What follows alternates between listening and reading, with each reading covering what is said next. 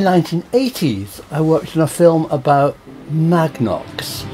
Magnox is a British nuclear power system of power stations and fuel reprocessing. One of the most interesting parts of Magnox was how it got the spent fuel rods from the nuclear power stations all over Britain back to Sellafield for reprocessing. This used a system of containers or flasks that ran on British Rail. These flasks were made out of a single billet of forged steel and they were tested using high speed photography and a train crash. Here is a film about that testing.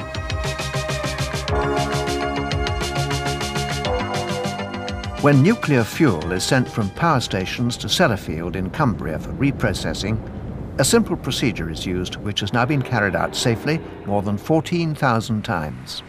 The fuel rods are first cooled for at least 90 days at the power station in dry storage or by immersing them in ponds. When they're taken out of storage, the heat coming from each rod has dwindled to about 25 watts, roughly equivalent to the warmth from a small electric light bulb.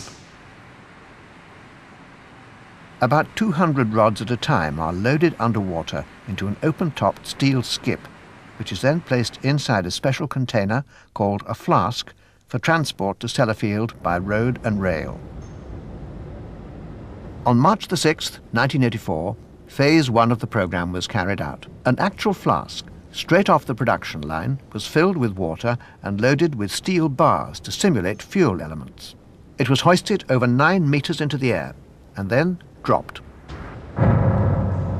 The flask was dropped on one edge of the lid to impose the severest possible test of its integrity.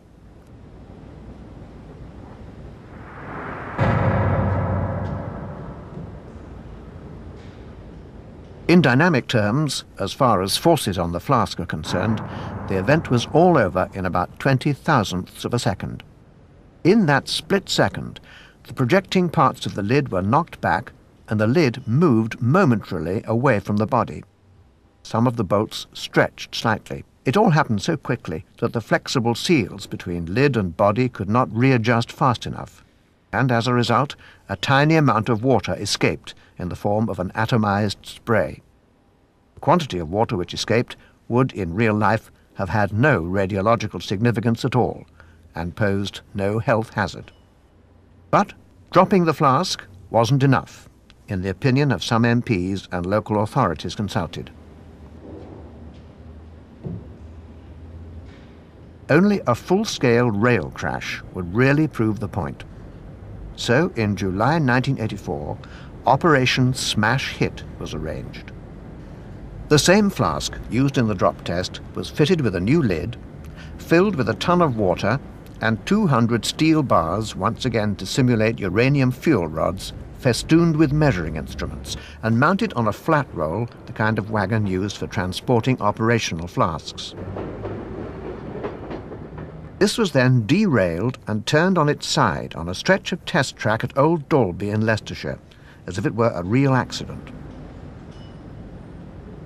A Type 46 diesel locomotive, number 46009, and three standard coaches were used to represent a typical passenger train.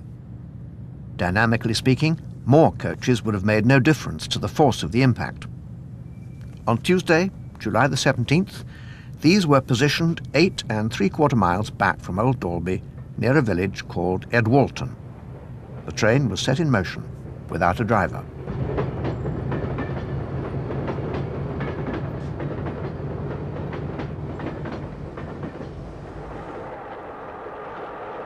Every inch of the journey was followed by cameras mounted on a helicopter, and the train's speed was checked by engineers using radar guns.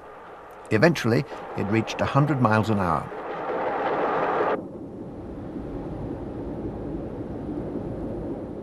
And watched from a safe distance by some 1,500 invited guests, it ploughed headlong into the derailed flask and wagon.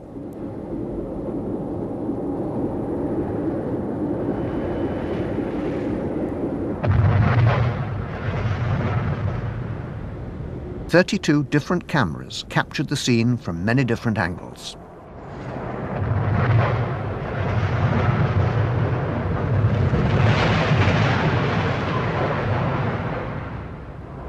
There was even a camera on the front of the engine.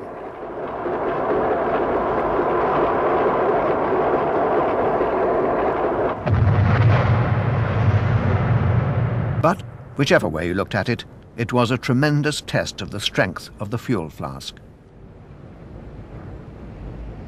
The draw hook on the front of the locomotive hit the edge of the flask, but the lid stayed bolted in position. There was some scarring of the steel and buckling of the outside cooling fins.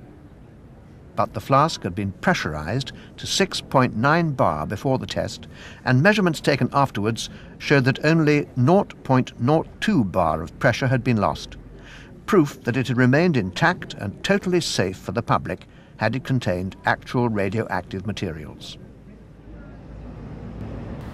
Seeing that high-speed film made me remember the birth of high-speed photography in the Manhattan Project.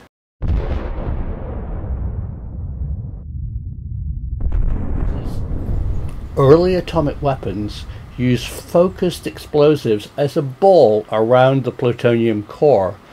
It was vital for scientists to see how that core imploded, and the only way to do it was to record the explosion at very high speeds. Some of the imagery is amazing, and the people who made the cameras are fascinating. In a remarkable laboratory at the Massachusetts Institute of Technology, time and motion are dramatically dissected.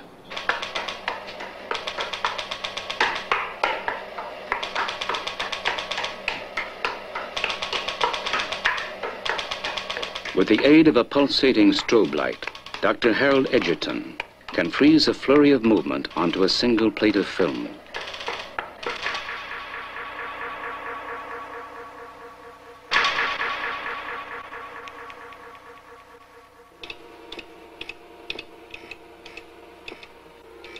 Dr. Edgerton developed the strobe light in 1931.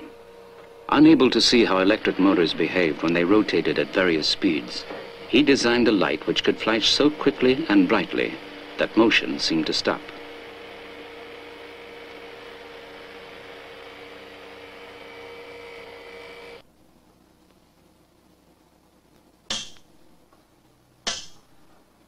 A world expert on high-speed photography, Edgerton delights in demonstrating the amazing power of camera and light. Now, we're going to uh, do an experiment here to take a picture of a bullet, a very high-velocity bullet, as it cuts this playing card in two. The playing card will be attached to this tape. The bullet will come out of the gun at 2,800 feet per second. It, if we aim it correctly, it'll cut through the card and we want to turn on a light, a very special strobe light that lasts less than a millionth of a second in order to stop the bullet effectively on the film, make a sharp, clear uh, photograph. The sound of the bullet will trigger the strobe light which creates an image on film.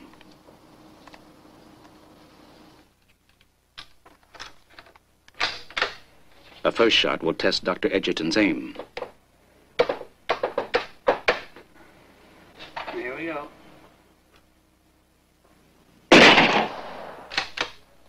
Now, the event as the strobe light reveals it. Less than a millionth of a second is permanently frozen in time.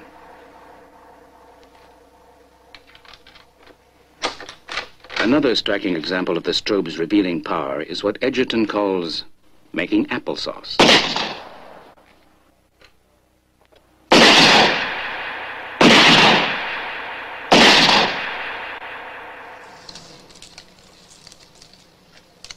Perhaps the most dramatic of Dr. Edgerton's visual techniques combines the powerful strobe light with a high-speed motion picture camera. Ready to go?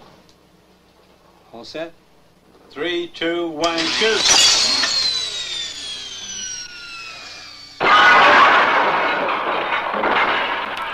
Paul from Curious Droid Channel did a fantastic job at explaining how these cameras worked. Here's an extract from his film. During the Manhattan Project to develop the first atomic bomb, they required cameras that could record the first few microseconds of the explosion.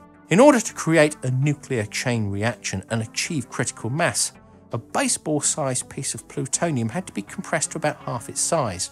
This was achieved by using an array of focused high explosive lenses surrounding the plutonium core. In order to make it work effectively, the explosives, 32 of them in all, had to be triggered within one microsecond. If any were delayed, then the compression of the core would be unequal and the reaction would either be much less or may not even happen at all. Using a super high speed camera, it would be possible to see how effective the explosive lenses had been just a few microseconds after detonation. At the time, the fastest cameras were Fastax Cine cameras and could achieve around 10,000 frames per second or one frame per 100 microseconds. This still wasn't fast enough though. The first high-speed rotating mirror camera was the Marley, invented by the British physicist William Gregory Marley. The Marley camera used a rotating mirror and an array of lenses inside a curved housing each focused onto a single piece of film around the edge of the case. This could record a sequence of up to 50 images onto 35mm film at 100,000 frames per second. But by the time of the Trinity test, it was outdated and too slow to record the ultra quick reaction in the plutonium core. Head of the photography unit, Julian Mack, said that the fixed short focus and low quality of the lenses would probably have made the Marley camera pictures useless. He helped develop the Mack Streak camera, which had a 10 million frame per second limit. That's one frame every 100 nanoseconds. By the 1950s, Harold Edgerton had developed the Rapatronic camera, the name coming from Rapid Action Electronic. This used a magneto-optic shutter, which allowed it to have an exposure time as short as 10 nanoseconds. That's 10 billionths of a second. This was first used for the hydrogen bomb test of the Eniwetok Atoll in 1952.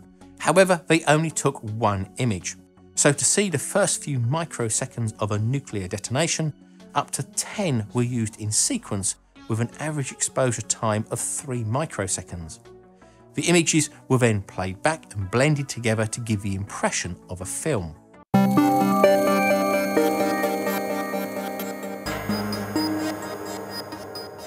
These amazing images were taken during some of the earliest nuclear tests. You can see the segments of the explosive lenses. The spiky things sticking out of the ball are the guy wires from the tower turned into plasma. When the first atomic bomb was exploded, scientists were terrified that it would produce a chain reaction in the whole of the Earth's atmosphere. This hellish thought also made people see things in the explosions.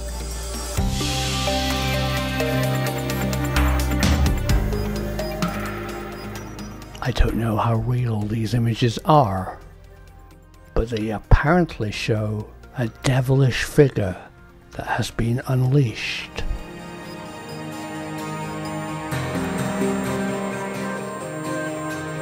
Today, we can buy high-speed cameras, and it's beautiful to see bees' wings and flowers unfolding. But of course, most of them are American, so the real test is to shoot things.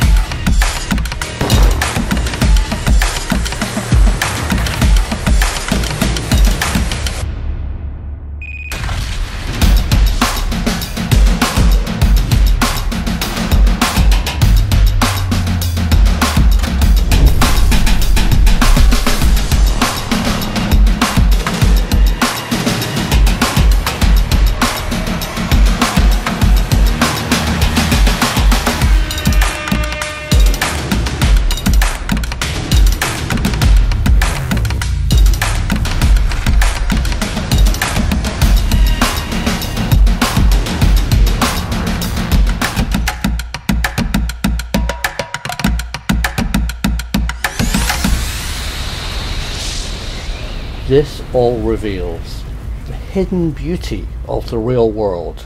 And as we know, the truth is out there.